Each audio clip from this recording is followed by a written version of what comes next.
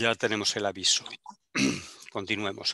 Bueno, buenos días eh, a todas y a todos y eh, bienvenidos eh, a este primer acto institucional del, del máster habilitante de eh, la Escuela de Arquitectura de Madrid. Esta es una presentación eh, de las eh, aulas de proyectos y no tanto el máster habilitante su conjunto, aunque ahora Chema La Puerta como coordinador del, máster hará una, una, pequeña, una pequeña introducción. Como bien sabéis, de lo que se trata en este acto es de que los, eh, las, aulas que comienzan ciclo, las aulas de eh, Javier Maroto, Juan Carlos Sancho y Federico Soriano, eh, expongan los programas a través de los cuales se va a estructurar la docencia de, este cuatrimestre de tal manera que bueno, podáis estudiarlos, podéis podáis ver aquello que os interesa y a partir del día 15 eh, podáis elegir. Como, veis, como bien sabéis, eh, tendréis un orden de elección y por lo tanto pues habrá eh, un número de personas cuya elección coincida con el aula y otras que lamentablemente no será así. como bien sabéis, cualquier tipo de cambio tiene que pasar por jefatura de estudios y a no ser que sea cambio de aula, por supuesto, a no ser que sea algo absolutamente justificado, esos cambios no se pueden admitir porque, como bien sabéis, el, eh, estáis eh, prácticamente mm, todos y todas matriculados a... Perdonadme, si podéis eh, apagar los micrófonos porque tengo un... Gracias. Em, estáis matriculados a tiempo completo y por lo tanto puede eh, tocaros turno de mañana o turno de tarde eh, en función del, eh, del, número de alumnos que tengamos distribuidos en uno u en otro. el, número de profesores por aula tiene que ver con la ratio de profesor-alumno puede ser de 1,16 a 1,18 eh, alumnos por, cada profesor y no queremos eh, que la ratio sea superior a eso y por lo tanto los cambios van a ser difíciles. También eh, al final de, esta presentación, Begoña de Abajo y Carlos García van a presentar la asignatura optativa que se oferta en este máster desde el departamento que esperamos que os interese como ha venido interesando eh, mucho y os lo agradecemos eh, estos, eh, estos últimos años. Simplemente daros esa bienvenida, los que sois de la casa sabéis que estamos a, vuestra disposición, que podéis contar con nosotros y por lo tanto los problemas que podáis tener estamos para resolverlos. Los que sois de fuera, pues doblemente bienvenidos y bienvenidas. Esta es eh, eh, una escuela eh, interesante, llena de alumnos y alumnas estupendos, magníficamente formados y con un cuadro de profesores, este departamento en especial suficientemente contrastado y por lo tanto esperamos daros un buen servicio porque se trata exactamente de eso, de que eh, os podamos ayudar en eh, vuestra formación y mm, a partir de eso podáis tener un desarrollo profesional eh, importante. No demasiado más, reiteraros la bienvenida y mm, que estamos a vuestra disposición para ayudaros. Chema, si quieres tú... he prometido ser más rápido todavía. Eh, lo mismo que el director del Departamento de Proyectos, que Andrés Cano, con una bienvenida. Eh, a través del correo de eh, M Habilitante y de la persona de Ana Sabugo, me tendréis a, vuestra disposición. mejor esa, esa, vía que escribir a mi, a mi correo particular. acabamos de salir en este momento del Tribunal de Matrículas de Honor con, con un, un, día siempre muy, muy agradable, donde, donde donde hemos terminado más o menos eh, felices el tribunal y los, los, que, los alumnos que se han presentado. Deciros que el arranque del curso es el más importante, Es decir, que, para, para, mí, para delegación de alumnos, para el departamento de proyectos y para la escuela, P2 debe ser el, estamento donde se filtra aquel que eh, se le pide unos meses más y cambiar de proyecto. Y entonces, claro, los, meses, los tres, eh, cuatro meses que vienen a partir de ahora se convierten en vitales. Unos, meses que solo se pide, digamos, tener un proyecto como el que teníais en P8 o en P7 o en P6, un proyecto con un nivel de desarrollo suficiente para, para, para retomarlo luego con la ayuda de los consulting y de la parte técnica de la escuela. Eh, nada más que animaros que en mi experiencia un poquito más larga, eh, hay gente que se lo pasa muy, muy, muy bien en el máster habilitante y cuanto mayor es la, implicación y cuanto mayores se sale disparado a otros departamentos a pedir ayuda, a exigir a vuestro profesor, al director del aula, a exigirle eh, eh, concretar y ayudar y que todo el mundo esté en lo mismo, más satisfacciones se consiguen que aquella gente que está más despegado. Muchísimas gracias y como ha dicho Andrés, bienvenidos.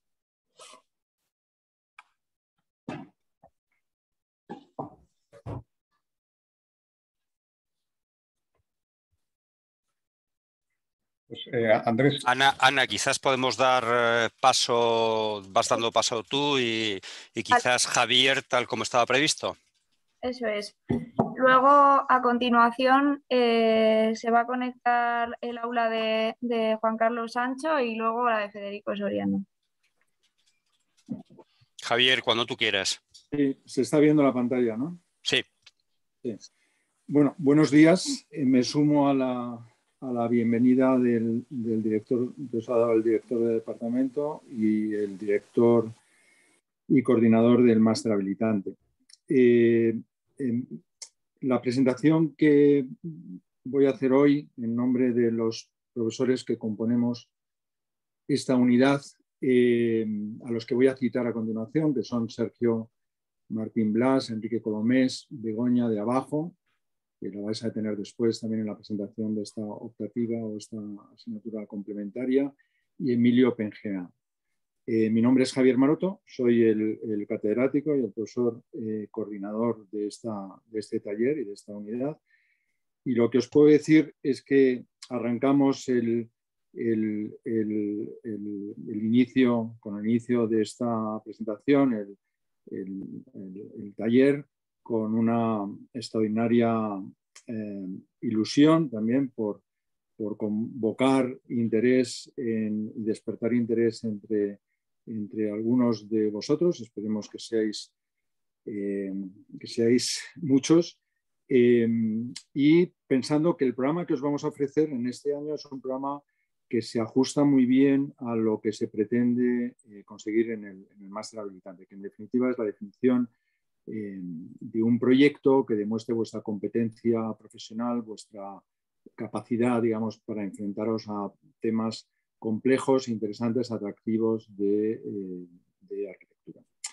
El nombre que da, eh, que da título al, programa es, se corresponde con, con, la ciudad de Vigo, es Vigo, ese es el título, y, también representa un acrónimo. Es, eh, eh, como veis en el cartel de presentación, la descomposición en las dos sílabas, ¿no? Bi y Go, tiene que ver con dos acrónimos a su vez, eh, que son Visual Inputs en, inglés, ahora explicaremos esto, campo de visibilidad, y, Ground Orchestration, que es manipulaciones con el suelo.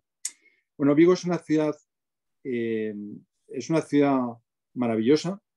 Eh, muchos de vosotros la habréis visitado, la conoceréis, otros no, pero habréis oído hablar de ella. Es una ciudad que en el ranking de, em, calidad de vida, en el último ranking que se ha hecho antes de la pandemia, justamente antes de la pandemia, en este ranking esta ciudad eh, salía calificada por, por, los consumidores, por los usuarios, por los ciudadanos, etcétera, como la ciudad de mayor calidad de vida de España.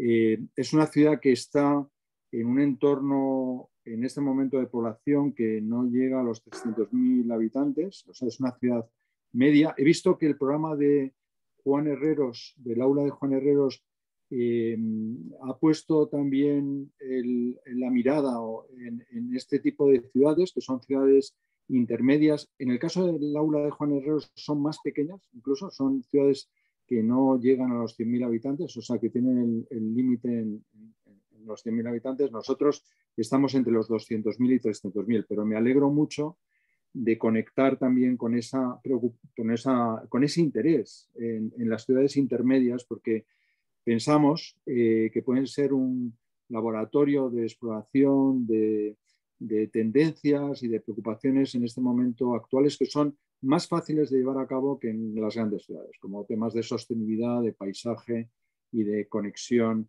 digamos, con el, con el medio.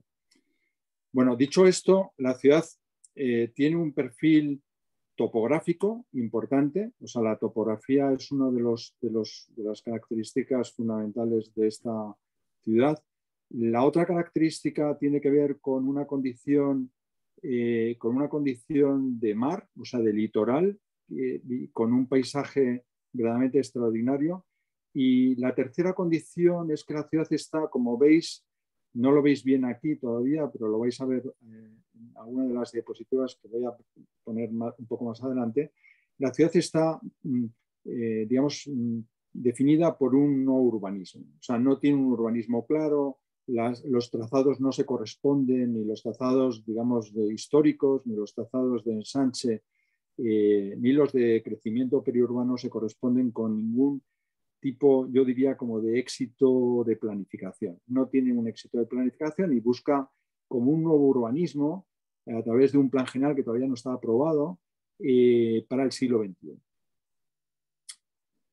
Eh, los, dos, los, dos, asuntos que motivan eh, el, título eh, y que, como decía, se corresponde con, el nombre de la ciudad, tiene que ver con esta idea de la primera, el primero que he enunciado tiene que ver con esta idea de campo de visión. Es una idea romántica hasta cierto punto. el, el, cuadro es muy conocido, Caspar Friedrich, eh, que como sabéis pues es, un, es un pintor alemán romántico, pues, su umbral es de, finales de, los años 1774-80 hasta 1840. Este cuadro en concreto se llama El caminante sobre el mar de nubes eh, y, sirve muy bien para ilustrar la idea del límite eh, de límite visual sobre la que queremos incidir en el programa. El límite no es algo físico, no es solo físico, sino que también es conceptual. Y aquí, en este cuadro, se hacen explícitos los dos, tanto el límite, vamos a decir, de lo físico, que es la roca, la montaña, y el paisaje este de nubes, que es más, eh, vamos a decir, evanescente, atmosférico, eh, cambiante, etcétera, y que nos hace entender que ese límite eh, conceptual se superpone también con el límite físico. Bien, la segunda cuestión a la que se refiere el título es esta mm, que hemos dicho que en inglés es ground orchestration, que es como manipulaciones del suelo. En definitiva, la, topografía no deja de ser una, más que una alteración eh, a través de depresiones y emergencias de lo que es un plano, un plano ideal que sería como el horizonte. Eh, eh, este dibujo es un dibujo poco conocido, muy poco conocido, a mí me gusta mucho, de Viollet-le-Duc. Eh, Viollet-le-Duc lo que hace es geometrizar con, herramientas de dibujo, con herramientas casi descriptivas, la forma de una montaña para construir, como veis, una, forma analógica que es espacial, que es arquitectónica, o sea, que tiene un interior, en definitiva. Bien, este es el segundo componente del curso. Bien, eh, la, ciudad, como os he dicho, es una ciudad muy compleja donde se mezcla eh, esto que se puede llamar genéricamente territorio con, otro concepto que es eh, infraestructura, o sea, camino, calles, muros, etc. No voy a entrar en el detalle de esto, lo que sí quiero decir es que el término es un término eh, complejo, como ocurre también con muchas de las ciudades gallegas, que está definida por el, por el propio casco urbano, pero diría que tiene mucha importancia las condiciones periurbanas de la ciudad, no solo del límite con el mar, sino del límite con esto que en Galicia se llaman las parroquias, que forman los concellos y que van creando como esas islas espaciales que van rodeando estos núcleos urbanos. Bien, la ciudad tiene una presencia eh, extraordinaria, o sea, yo diría que el primer límite es el que se establece entre la tierra y el agua, o sea, el, litoral, y sobre todo hay una condición que, está, que está presente, yo creo que en todas las ciudades que tienen esta condición del litoral y que tienen un pasado y un presente industrial, que es cómo se transforma, cómo se articula esa transformación de esto que se llama, que, ha llamado Daniel Bell la ciudad postindustrial, o sea, cómo se transforma todo ese paisaje, digamos, bellísimo, pero que está articulado con, industria, cómo lo transformamos en un, nuevo paisaje cultural, ¿no? Un paisaje cultural, paisaje vivo, paisaje urbano, eh, que no esté segregado, digamos, eh, de lo que es la propia identidad de la, ciudad. Esta es una condición que se ha tratado de hacer en, Vigo con distintos planes generales de ordenación, arrancando desde, desde esta condición casi como de muelle o de dársena, para crear una condición de crecimiento, ensanche, que como veis a veces está un poco em, forzada, en mi opinión, porque, porque digamos, a esta, a esta circunstancia de la topografía se le, se, le tiene que sumar la orientación, ¿no? la orientación solar. O sea, la ciudad está orientada al norte, pues claro, tiene que buscar eh, también esa condición de giro hacia el sur, ¿no? Eh, pero en contra de la topografía. Y eso le da también un interés eh, grande. Bueno, nosotros hemos venido trabajando eh, a lo largo de estos últimos años en, la unidad de grado y también en el desarrollo del máster habilitante con esta idea de entender la arquitectura como parte de ese juego de límites. Esos límites que son, como os he dicho, a veces físicos y otras veces conceptuales, evanescentes. Estos dibujos están desarrollados por algunos de los eh, estudiantes que han pertenecido a esta unidad y mm, son dibujos que son, yo diría, escenográficos, eh, axonométricos. Hemos trabajado mucho con proyecciones volumétricas sobre proyecciones planas, o sea, lo que se llama eh, dibujos hedgehog, eh, dibujos, digamos, incluso isométricos que no deforman y que trasladan, digamos, lo bidimensional y lo superponen con lo tridimensional. El, las condiciones o los temas fundamentales que, vamos a, o que vais a recoger en este desarrollo de proyecto, yo los voy a anunciar muy rápidamente y ya entraremos en la explicación del programa cuando arranquemos con la unidad más, de una forma más detallada. Mar y tierra, ya me, he referido a ello. Eh, eh, toda esta idea como de islas, o sea, de policentros y multiperiferias, está, como veis, en el desarrollo urbano de la ciudad. La ciudad es una ciudad que es, por una parte, concéntrica, muy, muy intensificada en torno al, primer ensanche eh, del 19 y al, centro histórico de la ciudad y el puerto. Después es una ciudad lineal, o sea, ese ensanche se va, se va acodando mm, en paralelo a la costa y después hay eh, una condición de, de ciudad casi como fragmentada o polifragmentada en, una serie de desarrollos que se han ido produciendo sin conexión entre sí. Eh, además de aumentar toda esta condición de límite extraordinario entre lo rural y el urbanismo. Entonces, esta condición o esa etiqueta de urbanismo, que también está muy en boga, es algo que forma parte también del ideario del proyecto. Eh, esto da lugar a una condición como múltiple, heterogénea de factores que intervienen como punto de partida y que em, estructurados en el proyecto deben fomentar como esta capacidad de que la arquitectura sea intérprete de las posibles hibridaciones, las posibles transformaciones de unas cosas en otras. Eh, hay otra discusión en Vigo eh, y sobre esto no hay acuerdo, pero es un tema interesante que es plantear que la ciudad, la, ciudad no se quiere expandir, eh, la ciudad lo que quiere es intensificarse. Entonces, claro, la única manera de intensificarse es en esto que se ha dado en llamar en Vigo como el Vigo vertical. El Vigo vertical eh, tiene dos objetivos. Uno es intensificar em, lugares que en este momento tienen una determinada altura y proponer un incremento de altura sobre determinadas zonas hay una gran discusión sobre eso, no hay acuerdo. Y la segunda cuestión es eh, plantear las conexiones, esto que también se ha hecho en Lisboa y en Oporto, las conexiones entre zonas que topográficamente o por alturas o por saltos o por cortes o por muros eh, no tienen conexión entre sí. Entonces, ese también es otro tema verdaderamente interesante asociado a la altura. La, textura de la ciudad, a mí me gusta eh, explicar las ciudades no solo por la disposición geométrica y espacial, sino también por las texturas. La, textura, eh, esto, es un cuadro de Ignacio Pérez Jofre, esta, imagen forma parte del programa que ya habréis visto.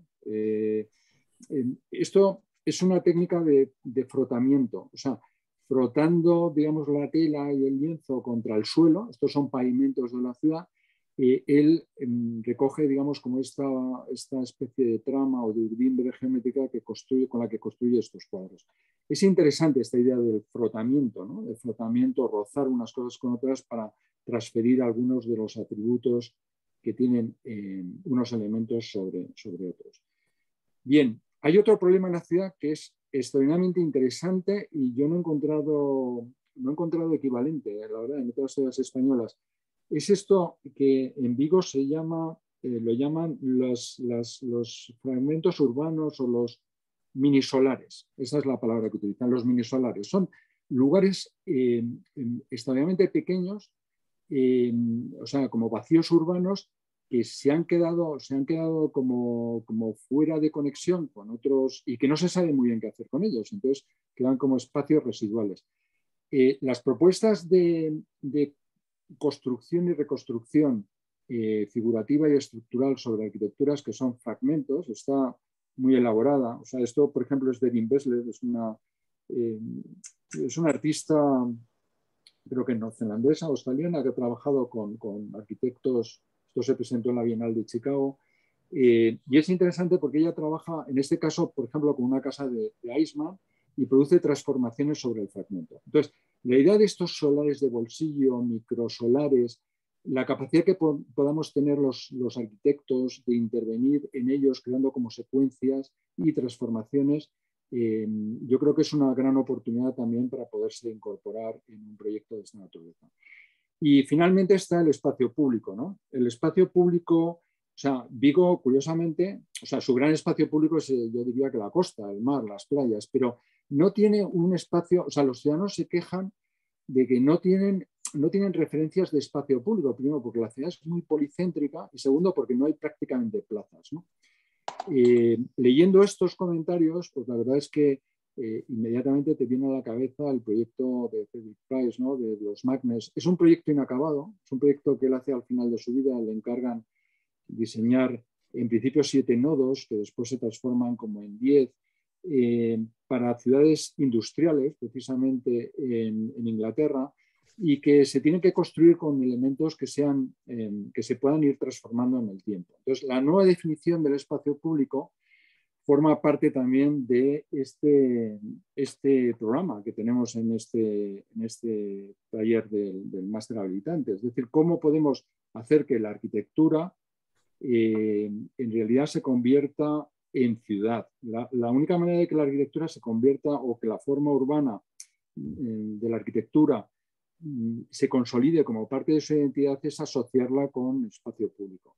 Y esta es otra de las grandes preguntas que lanzamos en el programa. Bueno, yo creo que estoy en el tiempo, ¿no? O sea, con esto, en principio, termino la, exposición y nada, eh, encantado de veros, por lo menos en la pantalla, y el próximo lunes tendremos la ocasión de ya eh, iniciar el curso de una forma más reglada, iniciar los talleres no he explicado, y sí que voy a aprovechar un momento, un momento, porque esto sí que me parece importante en deciros cómo entendemos nosotros la organización de los talleres. Los talleres tienen nueve, diez y nueve semanas y después hay una fase de desarrollo última que, es la definición ya completa del proyecto.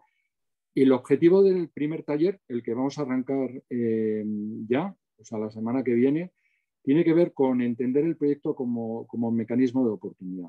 Y entonces, para entenderlo como oportunidad hay que conectar de alguna forma la teoría con la práctica, tenemos que establecer estrategias que tengan que ver con estas cuestiones que, he enunciado y con aquellas otras que puedan aparecer. Y tenemos que redefinir aquellas, aquellos elementos o componentes que pueden formar parte del juego de esta arquitectura. Es decir, el programa es importante.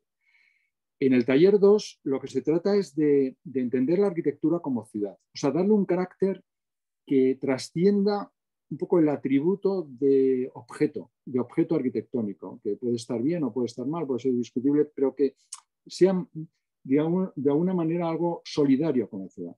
Y en la tercera, y en la tercera, el tercer taller lo que se trata es de darle madurez y consistencia a la definición del proyecto. Y bueno, dicho esto, eh, paso la palabra a Ana para que siga presentando al resto de las aulas. Vale, eh, había enviado que, la siguiente aula era la de Federico, pero bueno, he hablado con él por teléfono, no sé si podéis empezar en el aula Sancho ahora. Sí, podemos empezar ya, Ana. Vale, gracias, Guillermo. Eh, no sé si me oís bien, voy a proceder a compartir pantalla. Yo soy Guillermo Sevillano, soy uno de los profesores de la unidad eh, de Juan Carlos Sancho. Hoy él está en el, como miembro del Tribunal del Máster Habilitante y no puede, y no puede mm, estar con nosotros, así que eh, bueno, haré yo la presentación. Me acompañan eh, Gonzalo Pardo y Arancha Ozaeta, que son los otros profesores asociados de nuestro grupo y esperamos contar este año con Em, Pedro Torres y em, Patricia Minguito, que han sido bueno, mentores en la unidad durante varios años y con los que estamos encantados. Voy a proceder a compartir pantalla a ver si sale todo bien.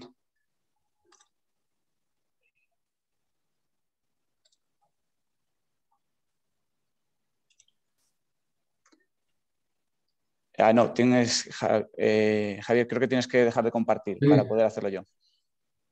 A ver, espera un momento. A ver si. Un segundo.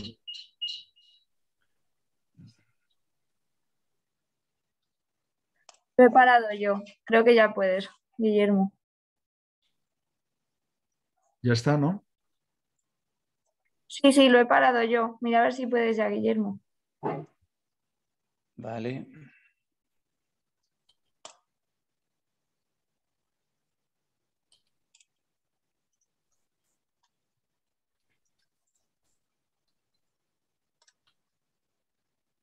¿Qué tal? ¿Se ve, se ve como debería? Espero.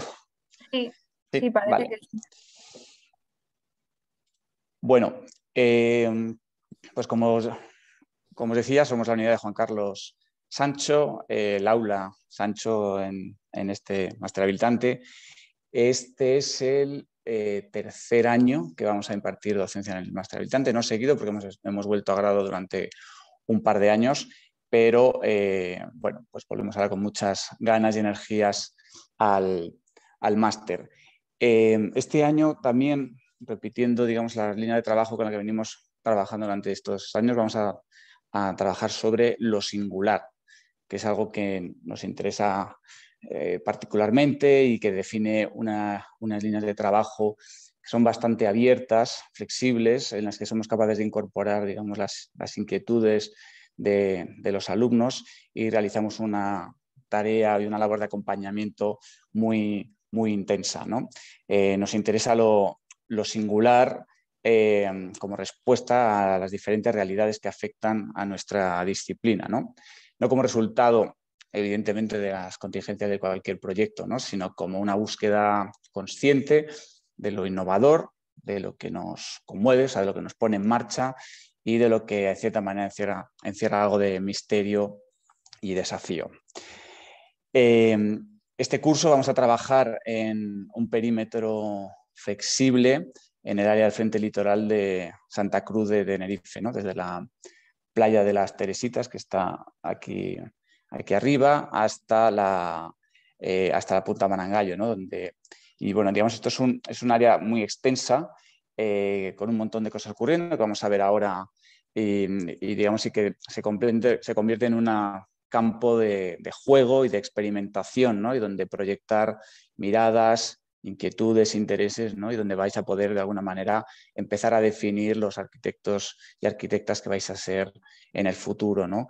a partir de, este, de este máster. ¿no? Al final, la, singularidad de cada propuesta que vais a hacer debe conseguir un trabajo de, de, de salida entre lo, entre lo arquitectónico, la realidad, eh, una, digamos, intercalando distintas escalas eh, y, complejidades, ¿no? desde lo público a lo, a lo privado o, doméstico.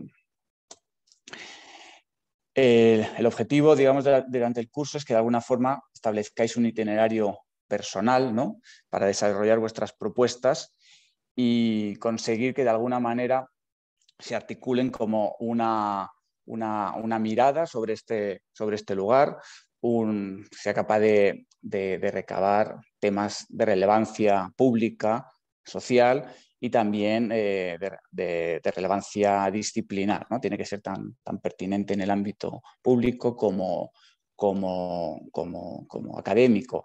Eh, también tienen que ser tan singulares como, como apasionadas y, consistentes en ese sentido. ¿no? Y al final, digamos, de alguna manera se, articularán como una comunicación y, una, y, un, cierto experimento ¿no? sobre, sobre, sobre este lugar, intercalando escalas territoriales de la infraestructura a lo paisajístico, de lo público a lo, a lo doméstico. ¿no? Y bueno, ya hablando concretamente de este, de este área, vamos a, como a, a daros un par de, de unas cuantas ideas o nociones básicas ¿no? para despertar vuestro, vuestro interés y vuestra inquietud ¿no? de, este, de este lugar tan, tan, tan fascinante en esta isla que, que, es igualmente interesante y potente. ¿no? Al final es una isla, eh, tiene un millón de habitantes, una superficie bastante pequeña, presidida por el Teide, que ya sabéis que es la montaña más, más grande de, de, de España y, y que es capaz de encerrar en muy poquita superficie, una variedad de climas eh, y, digamos, y, paisajes alucinantes. ¿no? Esta zona de aquí del litoral pues tiene otras, otras condiciones, eh, digamos, más, más, más concretas, ¿no? y, podemos hablar un poco de, esta, de este carácter que tenía la Tenerife como puerto eh, franco y de paso entre, entre, entre América y, España y Europa, de alguna manera, y que, y guarda mucho de ese, aire como mestizo, ¿no? de mezcla de, culturas y de influencias que traía el mar. ¿no? Eh, sabéis, como decía, ¿no? que está entre la ruta, era el paso obligado eh, con, Latinoamérica y además, bueno, pues tiene toda esa influencia indudablemente africana, ¿no? de, desde las corrientes de los, vientos que trae la, la calima eh, con, con polvo del, del Sáhara, hasta, bueno, indudablemente pues las presiones eh, migratorias, ¿no? que son de las que Canarias pues, no, puede, no puede abstraerse y que digamos serán también temas con los que podéis trabajar si os interesan estas cuestiones. ¿no?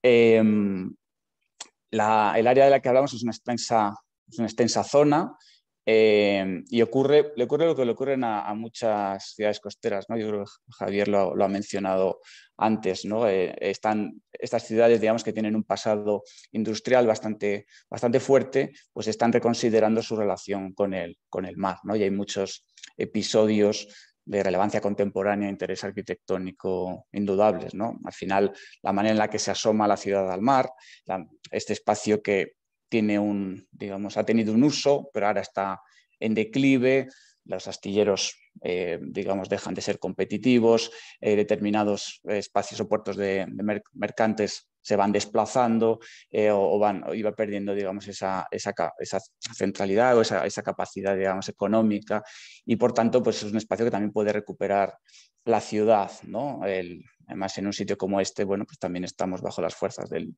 turismo de masas, la llegada que se ha hecho aquí de, perdona, de, en, digamos, las intervenciones que se han hecho en este, en este frente, que han sido muy interesantes, ¿no? con nuevos equipamientos públicos, el, ayuntamiento, la Plaza de España, eh, ahora la, inminente ciudad de la justicia que quiere construir el, el, cabildo insular en la, en la isla, en fin. Deja el conflicto, desde luego, y digamos las controversias y las oportunidades dejan de estar resueltas y queda mucho trabajo por hacer en este, en este lugar. Eh, aquí tenemos algunas imágenes de, de, propuestas que se han hecho eh, en el pasado más o menos reciente. Tenemos esto aquí de Meuron. Digamos, la única que se ha construido de momento ha sido esta de aquí, la plaza, la plaza de, de España y digamos toda esta conexión que se hizo con el puerto eh, de, Ferris, pues de momento para recuperar este frente eh, y dar acceso a la, ciudad y al público a este, a este lugar, pues todavía no se han eh, llevado a efecto. También tenemos aquí algunas intervenciones más, más interesantes, ¿no? que hablan un poco también de la condición hedonista y, de esta climatología tan benigna de la, de la isla como está en la, para la playa de Valle Seco, que se encuentra un poquito más al centro, donde hay un pueblo pescador bastante interesante con el que también se podría trabajar. ¿no? Es un lugar final eh, fascinante ¿no? por la convivencia que tiene de, escalas, de, elementos, ¿no? la heterogeneidad de, de, espacios, de lugares, de programas que podrían tener aquí. Eh, aquí, por ejemplo, vemos el, astillero, ¿no? ya un tanto eh, decadente, las plataformas petrolíferas que son llevadas aquí para labores de mantenimiento, los gigantescos cargueros que, también aparecen en el puerto de vez en cuando. Y, creo que hay una imagen más adelante ¿no? de, los, de los cruceros que surcan el Atlántico y que, digamos, ahora durante la pandemia estuvieron aquí varados en esta, en esta costa y que son también eh, alucinantes, ¿no? Son como leviatanes gigantescos varados en medio de la, bahía. Tenemos también un, pasado eh, bastante interesante, ¿no? Desde de la, del, tenemos desde pequeñas infraestructuras portuarias, eh, pueblos pescadores, ¿no? casi que, incorporan esa escala doméstica, muelles carboneros, algunas torres de defensa, en fin, muchos temas con los que trabajar desde distintos ámbitos e intereses. ¿no? Y al final, bueno, es un lugar, digamos, Canarias, este, este sitio, digamos, con infinidad de capas y, como, Canarias como, como conjunto, bueno, eh, donde se puede repensar esta, esta, condición de la, del turismo de masas, ¿no? de, las, de las fuerzas globales, cierta, una cierta condición hedonismo, pero conciliándolas con el compromiso social, lo público, estos temas de los que también Javier estaba hablando de la, unidad interior, que yo creo que nos atraviesan a todos y nos, y nos interesan a todas y todos. Eh, al final, digamos, el interés es que podamos repensar el espacio público y doméstico, eh, lo, productivo, lo industrial, lo infraestructural en estos lugares, con, unas, con las exigencias propias de, pues, de, la urbanidad extensa y transversal de, nuestro, de, nuestra, de nuestra época. Tenemos alguna, alguna imagen más ¿no? que hablan de esta heterogeneidad disparidad de escalas y de, todas las oportunidades y potenciales que tiene esta, esta franja de territorio. Ahí veis también el, auditorio de, Calatrava al, fondo. Eh, bueno, tenemos aquí un, pequeño esquema de calendario para hablar un poco del funcionamiento de la, unidad. Al final eh, tenéis que trabajar digamos aquí casi como auténticos emprendedores, para ser capaces de diagnosticar este lugar, proyectar vuestras inquietudes e intereses y ser capaces de eh, obtener y proponer una propuesta que sea integral, ambiciosa, relevante y pertinente. Y, y toda la unidad, digamos, os acompañaremos ¿no? y iremos realizando este trabajo de aproximación, recolección, ¿no? entendimiento de lo que a uno le interesa, que es pertinente y relevante, cómo proyectar, cómo ir construyendo el, proyecto, escalando, ¿no? incorporando capas de complejidad hasta alcanzar un proyecto que sea, digamos, propio de una máster habilitante de un proyecto fin de carrera como el que nos tenemos que hacer.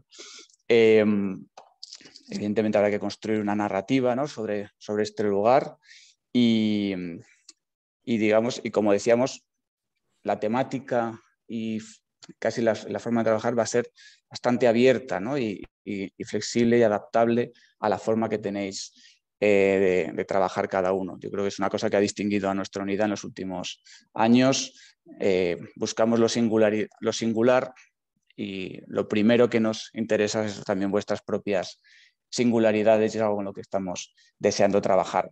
Queremos vuestra energía, toda vuestra ambición, madurez y también autonomía para, funcionar y vamos a empujar con vosotros para hacer un, curso estupendo y, muy entretenido, que es lo que queremos. ¿no? Para ello también, bueno, pues em, compaginaremos muchos formatos eh, y metodologías, ¿no? desde pin-up, sesiones de, con, con, invitados y sesiones de correcciones colectivas, algunas, digamos, prácticas pedagógicas un poco alternativas ¿no? para potenciar determinadas cosas. Y uno de los temas que nos interesa del máster es que es una digamos, es un formato bastante alargado, digamos, de un curso y, y, nos interesa hacer distintas cosas a lo largo del curso para no, poder, no, no, aburrirnos y no caer en dinámicas que sean un poco productivas y, al final divertidas para, para todas y todos. Eh, creo que poco más por, por mi parte. Y nada, os invitamos a que os incorporéis a la, al aula y mm, con vuestro compromiso y interés y energía seguro que vamos a hacer un curso estupendo. Muchas gracias.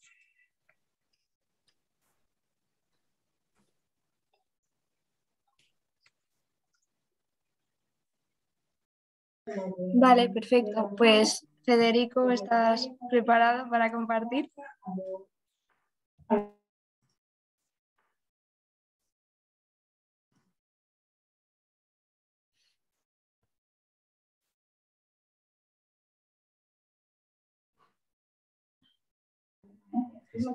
De momento yo veo la pantalla, pero no oigo. No sé si a los demás también les pasa. Sí, no, no, no oyes ah, porque no había empezado. Ah, que todavía no habías empezado. Vale, perfecto. Vale, bueno, voy a hacer la presentación de la, de la propuesta docente para el máster habilitante de este curso. Estamos también conectados los profesores em, Pedro Uzaiz y Eduardo Castillo, que son los que este año vamos a dar em, el curso.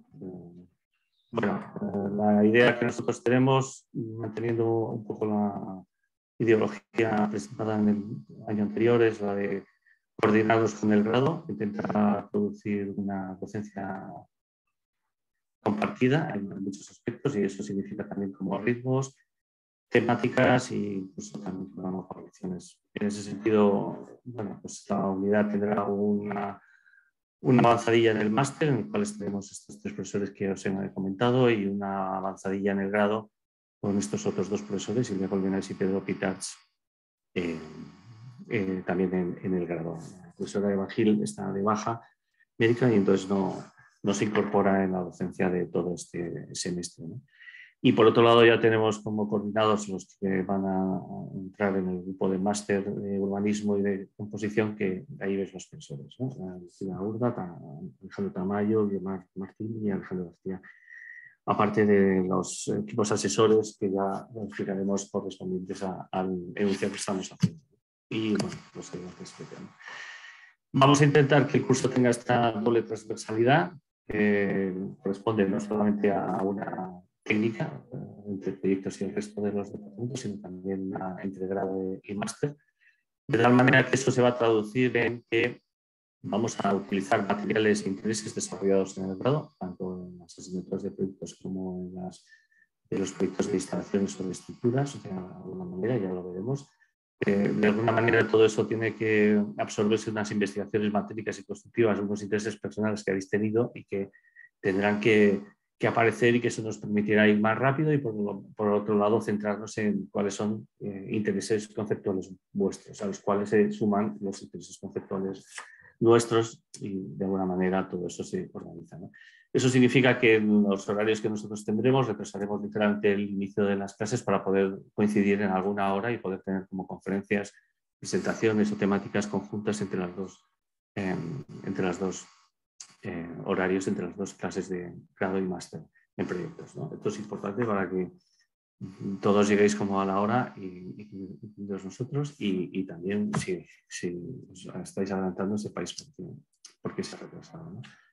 Bueno, eh, de alguna manera también la estructura del grupo se intenta hacer de la misma manera, ¿no? O sea, que todo el mundo está de grado ya sabe, todo el mundo lo que está en máster, máster ya os han contado. Nosotros en este grado máster intentamos producir situaciones intermedias las situaciones que han entrado son de proyectos colaborativos en, el máster. Intentamos que, os coordinéis y forméis unidades de, trabajo, células de trabajo que llamamos, para que el desarrollo del curso no sean estas situaciones de aislamiento generalizado que las condiciones de la pandemia y de las clases online han fortalecido, sino que os podáis también tener una cierta coordinación, ayuda en el trabajo y en las diversas entregas.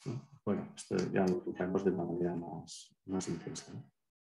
Bueno, Pedro, te cedo la palabra si quieres para buenas tardes, soy Pedro, soy Pedro Urzay, soy otro profesor de, de, este aula y voy a entrar un poco como a centrarme en, eh, en el tema ¿no? del máster habitante. Nosotros primero damos clase por la tarde, el aula da clases por la tarde en principio vamos a empezar a las 4 de la tarde y acabar a las 8 para poder eh, eh, precisamente compartir, como decía Federico, algunos días mm, conferencias o presentaciones que nos puedan servir del tema de grado hacia, hacia el máster.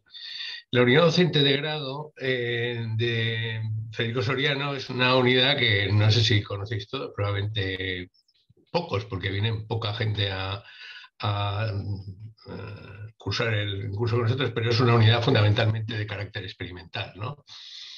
Después de la experiencia que hemos tenido este último año en el máster habilitante, nos hemos dado cuenta que en realidad al alumno de máster habilitante lo experimental no le interesa mucho.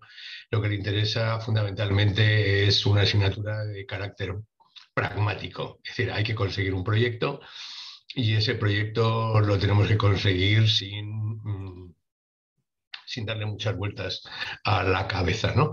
Eh, para eso, mm, precisamente, eh, lo que pretendemos son varios temas. Una es utilizar herramientas mm, que vosotros habéis utilizado ya a lo largo del grado, como pueden ser los proyectos de estructuras, de instalaciones, de, de construcción, fundamentalmente en un tema que para nosotros es muy importante, que lo hablaba Federico, que es el tema del prototipo, que es el tema de la materialidad del proyecto. ¿no?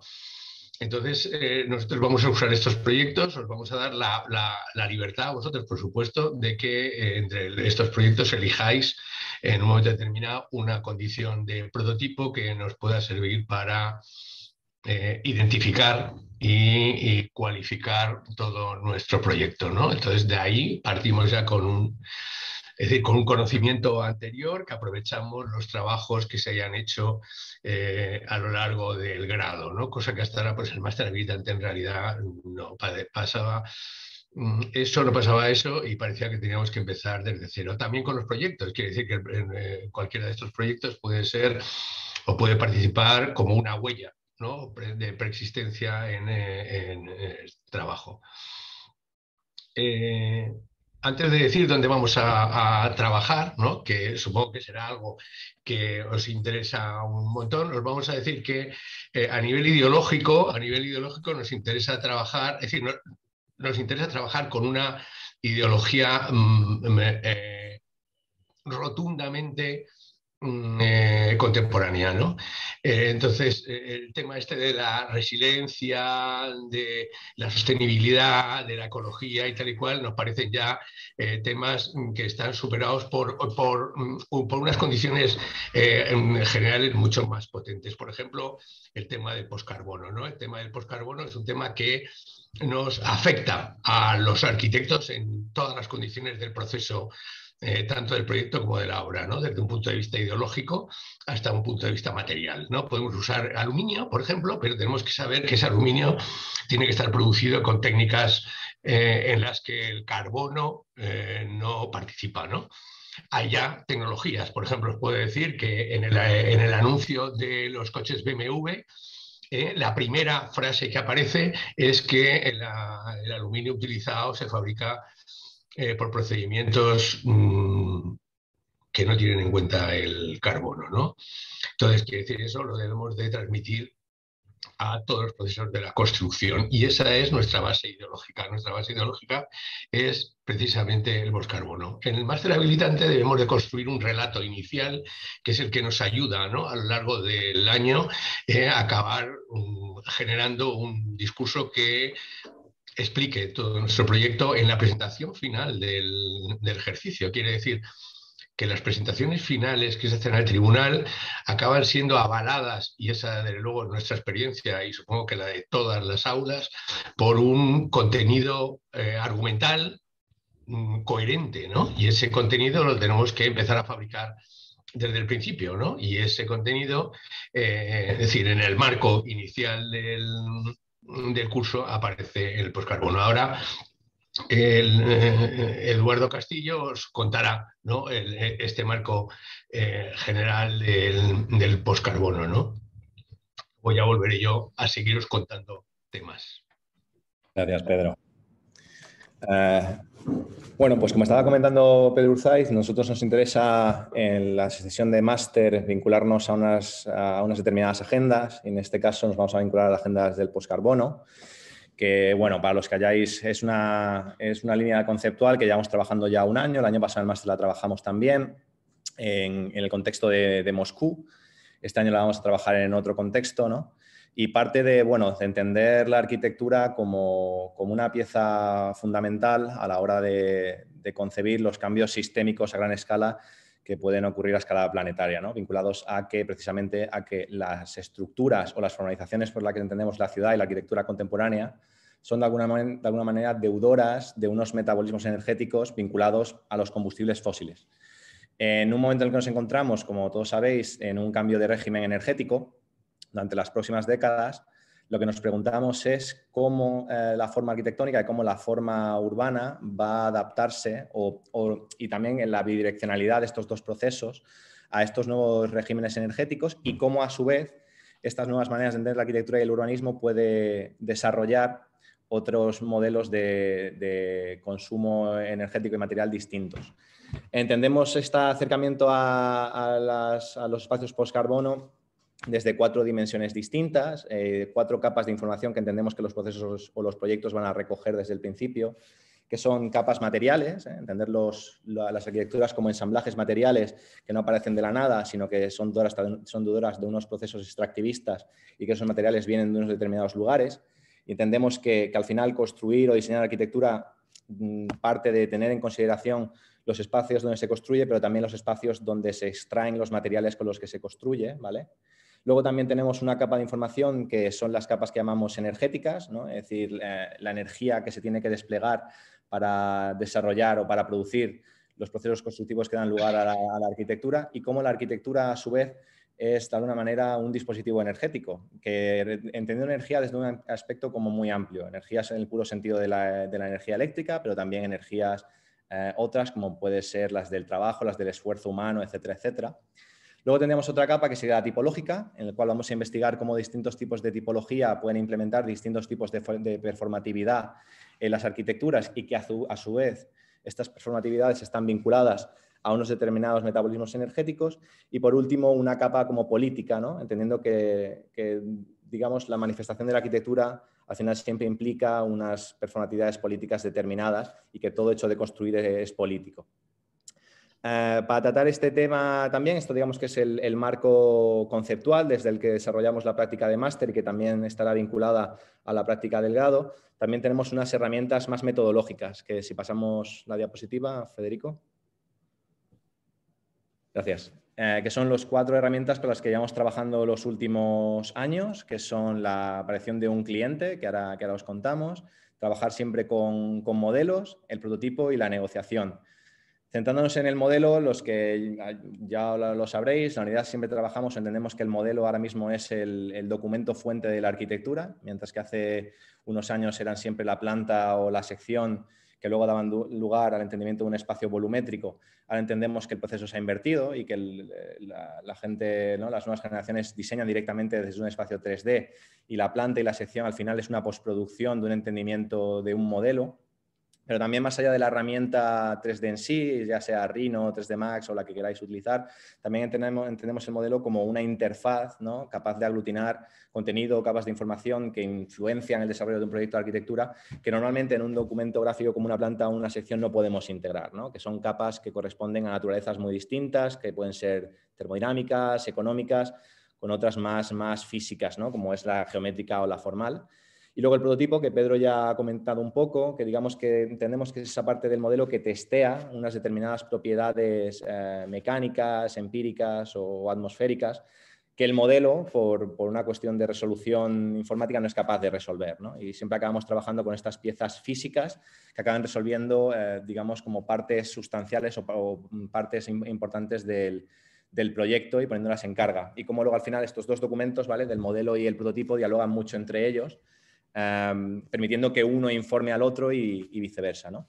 Los dos aspectos importantes son la negociación. Eh, vamos a trabajar o entendemos que el, punto de partida del máster tiene que ser un proceso colaborativo y se van a trabajar en, lo veréis, en solares eh, bastante amplios, eh, en los que se trabajará inicialmente en grupo, aunque luego, ah, sobre todo para la parte de P2, luego ya en P3 cada uno tendrá autonomía y desarrollará su proyecto por su cuenta. Pero entendemos que esta vinculación, también por la experiencia que hemos tenido en el curso pasado, por un lado genera vínculos entre las personas que están desarrollando el máster, ¿no? que a veces es como, una, como un periplo que uno tiene que afrontar solo y que está bien generar esas, esas conexiones y permite tener contextos que se están desarrollando en tiempo real mientras cada uno de, vosotros y vosotras desarrolláis vuestro proyecto.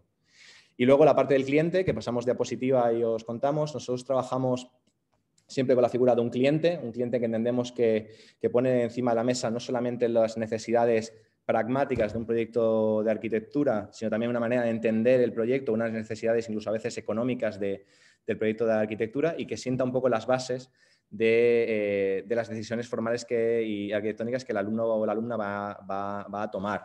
En este caso, el año pasado contamos con, como cliente con Estrelka KB, una consultoría eh, estratégica vinculada a Moscú. Ahora, como veréis, nos vamos a otro país y vamos a contar cliente con Vlad Afanasiev, que es eh, director de la agencia Petroculturas, que se encarga de ver cómo determinados espacios infraestructurales o industriales vinculados a las economías y a las, materializaciones formales de, la era del carbono se pueden, se pueden reutilizar o se pueden transformar apropiándolas para, nuevos usos. Eh, para esto vamos a trabajar en, Kiev. Eh, no, ha sido por todo lo que sabéis que está pasando las últimas semanas, llevamos trabajando en esto ya ya bastante. Y de la misma manera que el semestre pasado y el año pasado trabajamos en Moscú, porque es una ciudad que, integra de alguna manera en su propia trama urbana una ingente cantidad de espacio dedicado como a, la infraestructura ¿no? o espacios industriales. Kiev tiene también una estructura similar. Por el crecimiento que hubo durante la etapa soviética, hay partes que pertenecían a la, a la periferia de la ciudad que con el paso del tiempo se han visto integradas dentro de la propia trama urbana de, de, la capital. ¿no? Entonces, lo que nosotros vamos a intentar abordar es cómo estas infraestructuras, que la mayoría de las cuales, o estas industrias que pertenecen a determinados tipos de, industrias vinculadas a, la era del carbono, como pueden ser desde sistemas infraestructurales de producción energética a infraestructuras del transporte o infraestructuras, por ejemplo, de la producción alimenticia, como el caso que trabajamos la semana pasada, ¿vale? La semana pasada, perdón, el año, el año pasado, pues ahora cogeremos otras infraestructuras y nos vamos a cuestionar cómo, ¿no? en un estado del post-carbono, donde, donde, estas infraestructuras ya se tornan obsoletas, podemos reutilizar estos espacios para, otros usos y programas. Y para esos programas, los programas que os vamos a proponer, eh, le paso la voz a Pedro, que os los va, que os los va a contar. Bueno, vamos a... Eh, bueno, aquí tenemos los tres mm, eh, programas, ¿no? Los tres programas que nosotros proponemos para cada uno de los tres solares que proponemos, ¿no? Los hemos propuesto en Kiev. Podríamos haber ido, la verdad es que he escuchado las otras dos mm, presentaciones anteriores, ¿no? Podríamos haber ido a Vigo, ¿no? Que en realidad no podría haber yo elegido nunca a Vigo, porque la, calle principal de Vigo se llama, eh, la Gran Vía se llama Urzaiz. En, recuerdo a mi abuelo, ¿no? No iba a elegir una ciudad que tuviera esa proximidad familiar conmigo, ¿no? Pero reconozco que es una ciudad maravillosa, ¿no? Tampoco eh, Tenerife, ¿no? Es decir, aunque me encanta el asunto tropical, ¿no? De hecho, eh, intento pasarme todos los años tres meses en el, en el trópico, ¿no? Pero la verdad es que se nos queda en ese aspecto un poco como fuera de, situación para, por lo menos para mí, ¿no? El compartir el Caribe con, con Mm, Canarias. Por eso, en realidad, eh, nos interesó un sitio extremo al que podamos viajar. ¿no? Es verdad que las condiciones ah, en este momento parece que no eh, están como para en el futuro viajar, pero yo mm, estoy súper convencido que esto en, un periodo de un mes o un mes y medio, que es cuando empieza el buen tiempo en la primavera eh, centroeuropea, podamos viajar a Ucrania e incluso hacernos un salto a a Chernobyl, que es una ciudad interesantísima, y poder darnos cuenta de dos situaciones europeas que nos quedan lejísimos, ¿no? como es una situación medioambiental absolutamente planetaria, eh, como Chernobyl, y la otra como la de una ciudad eh, grande, eh, centroeuropea, con toda una historia mm, de patrimonio y que, sin embargo, a nosotros nos parece que está tan lejos como mm, la Unión Soviética y, sin embargo, está bastante cerca, ¿no? Además, a unos precios asequibles para viajar, quiere decir que es casi más barato viajar, bueno, seguro que es más barato viajar a Kiev que viajar a mm, Tenerife o viajar a Vigo, ¿no? Con lo cual eso también nos animaba de cara a que todo el mundo podamos encontrarnos en, Kiev, ¿no? En Kiev vamos a elegir tres solares, mm, eh, tres solares que son el resultado de lo que explicaba Eduardo, ¿no? de un cambio, ¿no? Eh, un cambio energético, un cambio infraestructural, un cambio urbano. ¿no? Esos tres eh, solares van a ir acompañados de una serie de programas. Cada alumno va a tener un programa de estos. Eh, no sé cómo lo haremos ahora mismo, si lo sortearemos, los eh, venderemos a la mejor nota, elegirán los alumnos, pero en principio va a haber estos tres programas, que es un almacén de libros raros, ¿no? Los raros pueden ser incunables o pueden ser libros rarísimos que eh, no hayan incluso salido al mercado, pero que nosotros sepamos que, existen. Yo conozco varios. Em, esto tiene un interés, es que este programa de, libros irá acompañado de un conjunto de, otros programas que hacen que esta situación como tan especial, ¿no? pues va acompañada de un espacio mucho más general, de un uso incluso mayoritario, como puede ser una sala de exposiciones para Bilbiola o una, un almacén eh, para obras de Richard Serra que tendrá que tener una condición volumétrica enorme. ¿no? Entonces, vamos a discutir sobre muchas cosas, ¿no? sobre la intimidad a la hora de ver un libro raro ¿no? y la es decir, lo especial que significa la relación con este tipo de, mm, documentos, ¿no? Al lado de una exhibición de Bilbiola que es mayoritaria o dentro de un almacén de obras de arte enormes como pueden ser las de Richard Serra, ¿no? El segundo programa sería un en realidad un zoológico, ¿no? Es decir, es un zoológico para animales de estos que encuentran eh, las autoridades pues eh, en, circos, por ejemplo, en, zoológicos que se cierran por falta de economía, y toda esta situación que las, eh, las administraciones encuentran, ¿no? Animales que de alguna forma acaban siendo capturados porque tienen lesiones en, la naturaleza y tienen que encontrar. Bueno, pues ese, zoológico en el que van a vivir estos animales y que de alguna forma no van a, tener eh, es decir, la, presencialidad, ¿no? es decir, la publicidad de irlos a ver, ¿no? sino que van a vivir como en privacidad.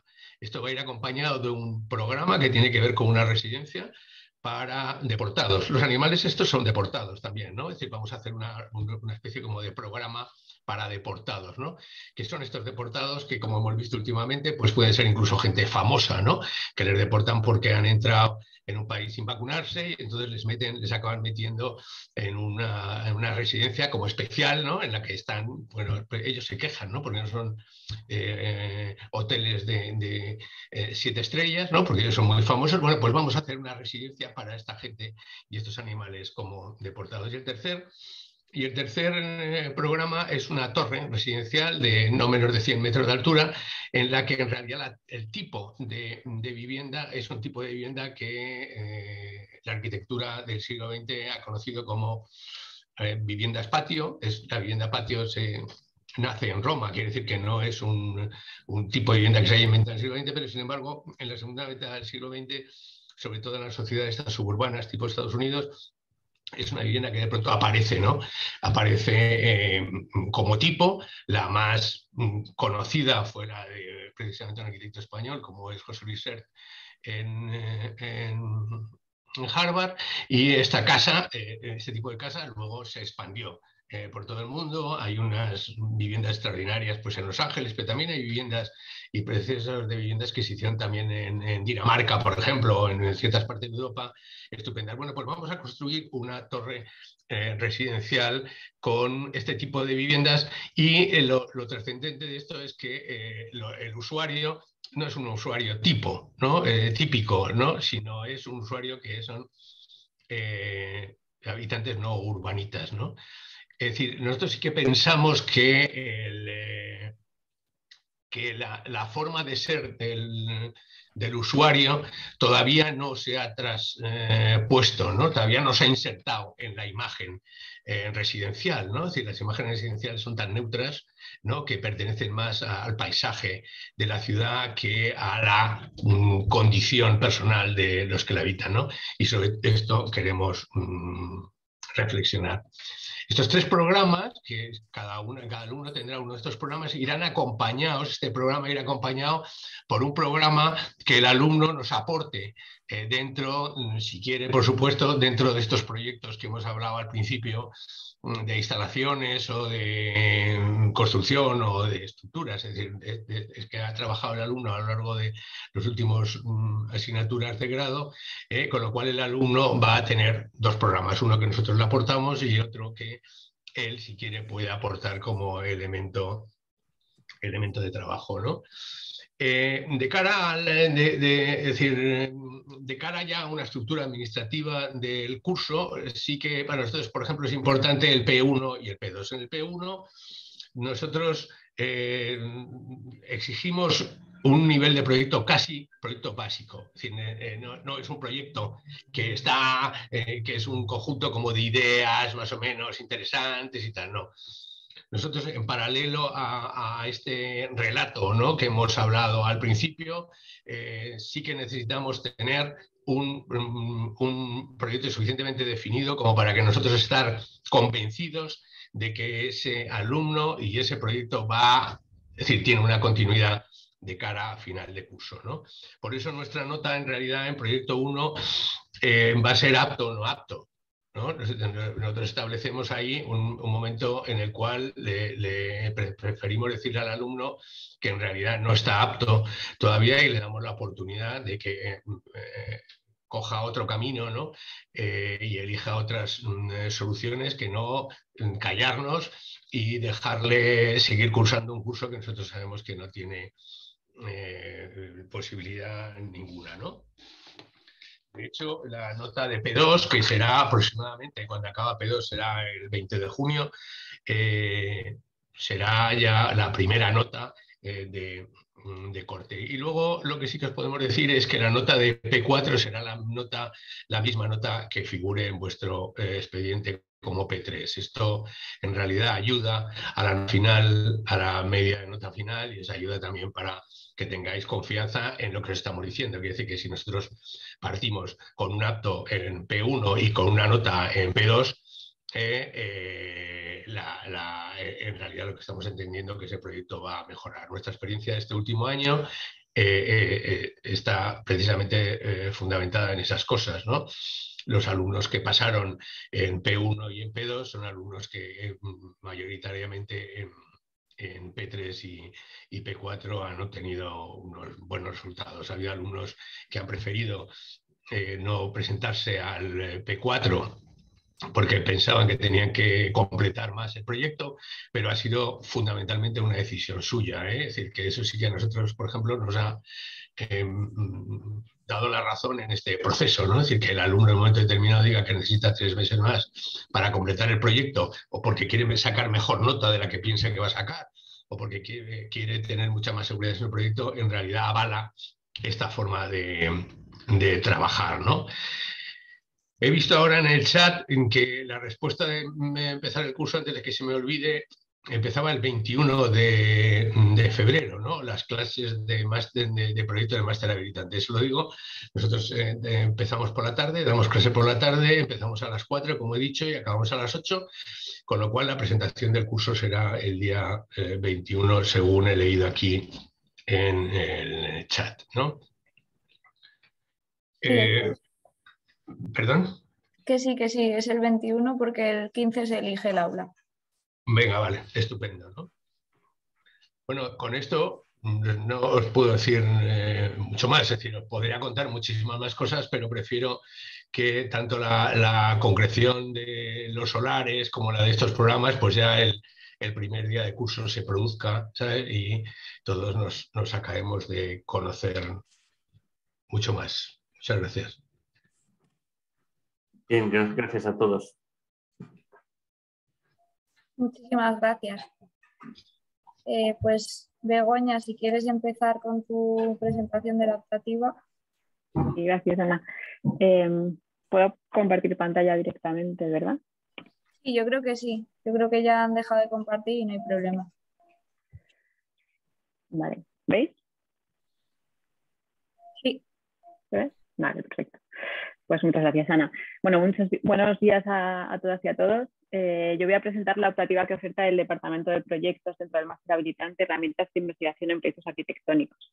Eh, no sé si conoceréis la asignatura por compañeros que, la hayan cursado en años anteriores, pero en esta ocasión la vamos a impartir Carlos García y yo misma, que soy Begoña de Abajo. Es la primera vez que la vamos a, a dar nosotros y la verdad es que la cogemos con muchísimas ganas porque es una asignatura eh, que nos resulta muy divertida, muy apetecible y de estas que nos habría encantado haber podido cursar a nosotros cuando, cuando estudiamos, ¿no? porque, porque es una oportunidad, un hueco, eh, unas horas destinadas a poder eh, pensar y a, poder conversar con, con, vosotros con, quizá con, con, más libertad de la que podáis tener en, en, el resto de asignaturas es una asignatura que pretende acompañaros durante el inicio de, o el arranque de, vuestros proyectos, especialmente eh, en el bloque 2, aunque de las 11 sesiones que tendremos, eh, tres eh, tendrán lugar en el inicio del bloque 2 y las otras pues, siete, ocho sesiones a lo largo del bloque,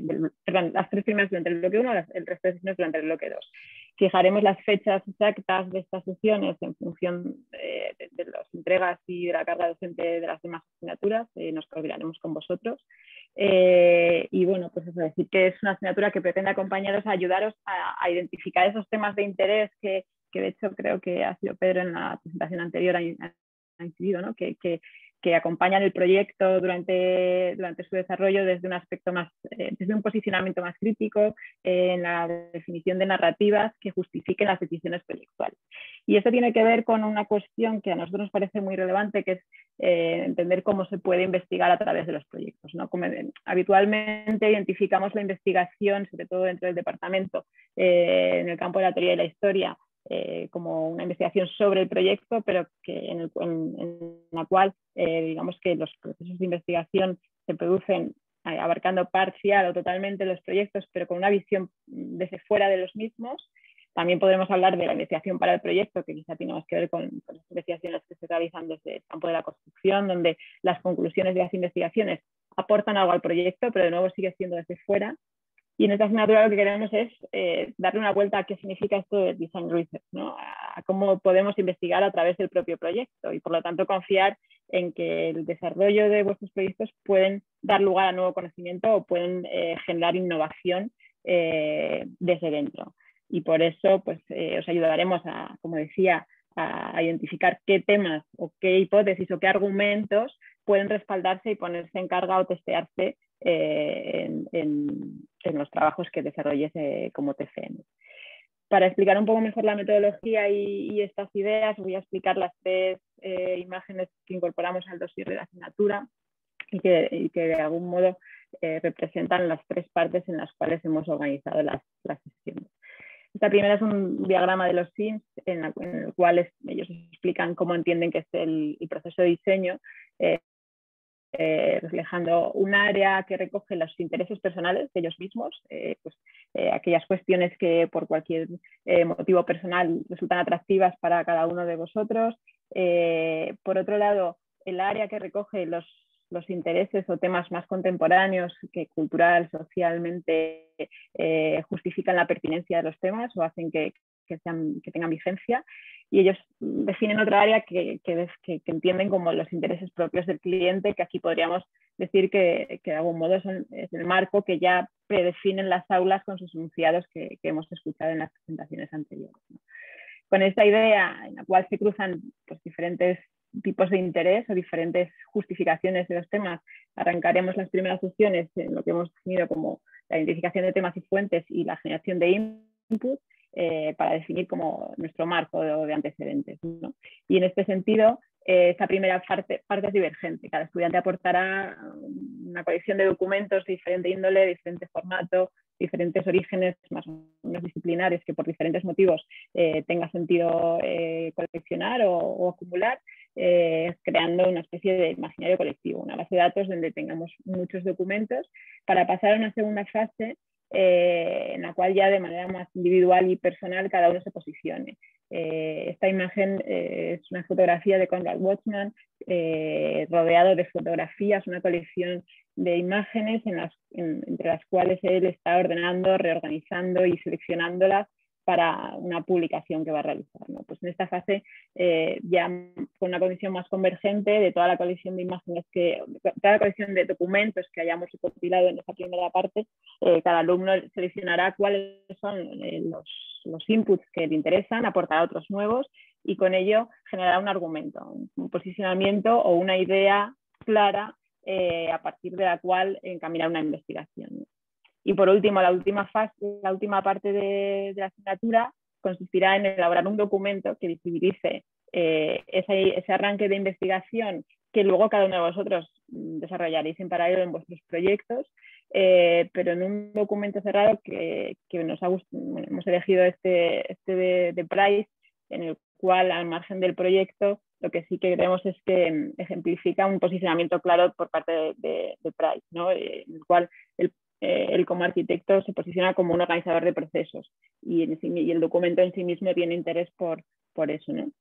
Entonces, en esta tercera parte de la asignatura, que serán las últimas tres sesiones, eh, a partir de las hipótesis o argumentos eh, arrancados por cada uno de vosotros, cada uno desarrollará un documento, como decía, cerrado, capaz de visibilizar la investigación que arranca cada uno de vosotros con vuestros proyectos. Eh, será un documento paralelo al, TCM que confiamos que durante el resto del máster, en los bloques 3 y 4, eh, de algún modo intentáis testear o, como decía al principio, poner en carga eh, desde las investigaciones que hayáis arrancado en, esta asignatura. no querría alargarme mucho más, simplemente en cuanto a cuestiones logísticas, que la asignatura tendrá formato de seminario que dura cada sesión cuatro horas, de las cuales mm, habrá una primera parte en la cual haremos eh, presentaciones por nuestra parte y vendrán invitados externos, algunos ya confirmados como Luis Villalba, Alina Toro o Luis Alexandre. Eh, habrá también algún, algún exalumno invitado que nos venga a presentar sus proyectos, sobre todo porque nos interesen desde esa visión eh, o desde esa construcción de narrativas personales. Eh, y una segunda parte de la asignatura en la que tendrá más formato de taller, de conversación, de trabajo en el, aula. Mm, nos veremos en principio el próximo miércoles a las nueve y media en la sala 5 de, las aulas de PCC, pero si hubiese algún cambio, cuando recibamos el listado de alumnos que os matriculéis, os informamos por correo. Cualquier pregunta también os podéis escribir al mail se me olvidó decir, perdona, que a Carlos no está hoy porque está ahora mismo dando clase, pero se a nosotros el, próximo miércoles. Eh, que esperamos que, la asignatura tenga el mismo tirón que ha tenido hasta ahora, porque, como decía al principio, cogemos con, muchas ganas Eh, creo que vamos a arrancar con un grupo de alumnos que son 20 plazas. Eh, esperemos que haya demanda y que en los próximos cursos podamos ampliar el número de, plazas. Y creo que eso es todo. Nos vemos el próximo miércoles. Perfecto, pues muchísimas gracias a todos.